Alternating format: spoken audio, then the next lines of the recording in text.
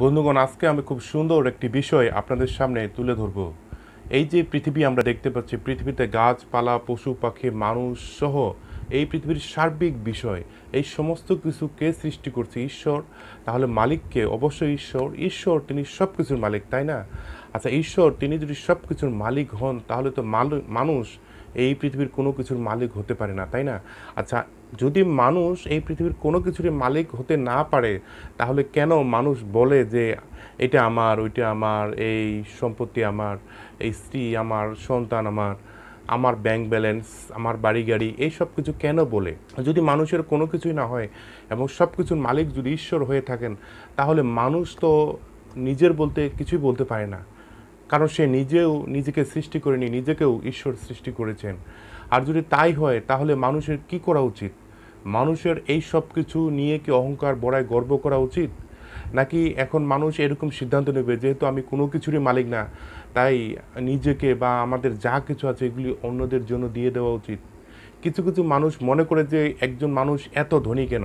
তার ধন সম্পদ অন্যদের বিলিয়ে দেওয়া উচিত, দান করে দেওয়া উচিত, বা তার এত ধন সম্পদের মালিক হওয়া ঠিক না। এই যে একটি বিষয়, এই বিষয় নিয়ে আপনার আমার কি চিন্তা? আবার আমরা যে ধন সম্পদ সংগ্রহ করি, এগুলি যদি আমাদের না হয়, আবার আমরা যদি বিলিয়ে দিই, বিলিয়ে দিব কেন? কারণ আমি তো মালিক না, যদি মালিক না হয় তাহলে এটা আমার অন্যকে দেওয়ার অধিকার কি আছে? আমি মালিক না, অথচ আমি আরেকজনকে এগুলি কীভাবে দিতে পারি? এই সব বিষয় নিয়ে আজকে আপনাদের সামনে আমি দু একটি কথা বলতে চাই। আসুন আমরা এই সময় যদি আমরা আদি পুস্তক দেখি, পবিত্র বাইবেল থেকে আদি পুস্তক এক অধ্যায় আঠাশ পদ কি বলছে? সে অংশ থেকে পাঠ করি। আদি পুস্তক এক অধ্যায় আঠাশ পদ এই কথা বলছে, ঈশ্বর তাহাদের আশীর্বাদ করে বললেন, তোমরা বংশবৃদ্ধির ক্ষমতায় পূর্ণ হও, আর নিজেদের সংখ্যা বাড়িয়ে পৃথিবী ভরে তুলো, এবং পৃথিবীকে নিজেদের শাসনের অধীনে আনো। এছাড়া তোমরা সমুদ্রের মাছ আকাশের পাখি, এবং মাটির উপরে ঘুরে বেড়ানো প্রত্যেকটি জীব প্রত্যেকটি জীবন্ত প্রাণীর উপরে রাজত্ব করো। বন্ধুগণ, এই বাক্যাংশের মধ্য থেকে আমরা কি দেখতে পাচ্ছি? যে ঈশ্বর, তিনি সব করতে আস, তিনি সব কিছুর মালিক, তিনি সব কিছু নিয়ন্ত্রণ করেন এবং তার ইচ্ছা মতো তিনি এই পৃথিবীটাকে চালাচ্ছেন। কিন্তু তবুও তিনি তা, এই পৃথিবীতে সৃষ্টি সেরা জীব যে মানুষ, এই মানুষকে কিন্তু তিনি অধিকার দিয়েছেন। কি দিয়েছেন?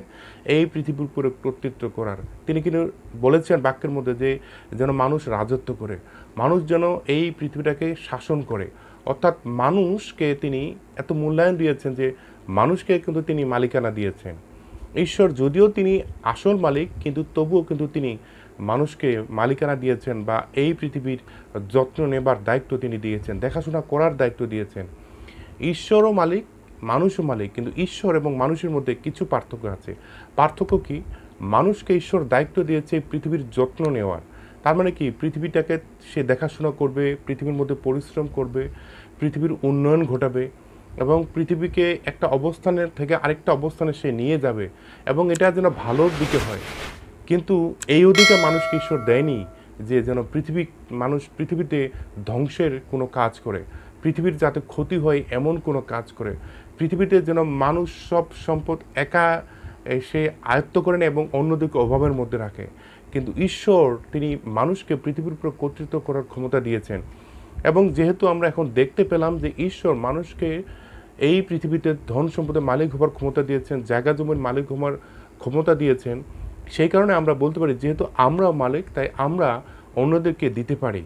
আমরা এই জগতে ধন সঞ্চয় করতে পারি ভালোর জন্য এবং সেটা আরেকজনের সুবিধার জন্য আমরা সেটা ডিস্ট্রিবিউট করতে পারি। এটা হচ্ছে মূল বিষয়। কিন্তু এইরকম না যে পৃথিবীর এই জগতে ধন সম্পদের মালিক হওয়া মানে আমরা অন্যের কোনো ক্ষতি করব, অন্যকে দুঃখ দেব।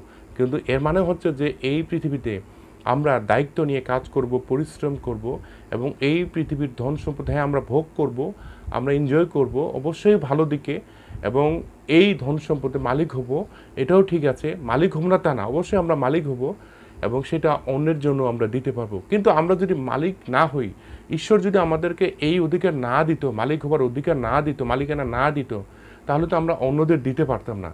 অন্যদের জন্য কিছু করতে পারতাম না। এবং আসলে এই সম্পত্তির উপরে আমাদের কর্তৃত্ব যদি না থাকতো, তাহলে আমরা কি করে খাইতাম বা কি করে চলতাম, কি করে আমাদের জীবন পরিচালনা করতাম, আমরা কীভাবে সামনের দিকে আগাতাম, এই যে পৃথিবীতে এত উন্নয়ন, এটা কীভাবে আসতো? এইসব কিছুর পিছন উদ্দেশ্য কি? আসলে ঈশ্বর মানুষকে কর্তৃত্ব দিয়েছেন, মানুষকে জগতের উপরে নেতৃত্ব করার জন্যই তিনি এই জগতের উপরে মালিকানার অধিকার দিয়েছেন। যেন মানুষ এই পৃথিবীতে কাজ করতে করতে, পরিশ্রম করতে করতে সে নিজেকে মূল্যায়ন করতে পারে, নিজেকে নিয়ে সে ভাবতে পারে, চিন্তা করতে পারে, নিজেকে সে, এই পৃথিবীকে যেন সে ভালোবাসতে পারে এবং এই পৃথিবীর সমস্ত কিছুকে যেন সে বলব যে ব্যবহার করে নিজেকে আরও উন্নয়নে, উন্নয়নের নিজেকে আরও উন্নয়নের দিকে নিয়ে যেতে পারে। এই জন্য ঈশ্বর আসলে মানুষকে এই পৃথিবীর উপর কর্তৃত্ব দিয়েছেন, এই পৃথিবীর উপরে রাজত্ব করার ক্ষমতা দিয়েছেন, মানুষকে ঈশ্বর মালিকানা দিয়েছেন। তাই মালিকানা একটি ভালো বিষয়। এটি খারাপ বিষয় নয় যে একজন মানুষ কিছু সম্পদের মালিক হবে না, এটি হতে পারে না।